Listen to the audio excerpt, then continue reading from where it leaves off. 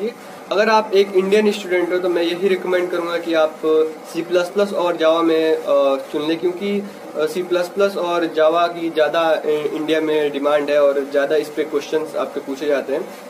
क्योंकि पाइथन अगर आप पाइथन सेलेक्ट करेंगे एज अ बिगनर तो उसको मैं इसलिए रिकमेंड नहीं करूँगा क्योंकि पाइथन में पहले से लाइब्रेरीज अवेलेबल है, बस उसको यूज़ करना रहता है। तो आप एक बिगनर है तो uh, या सी प्लस प्लस सीखे या जावा सीखे।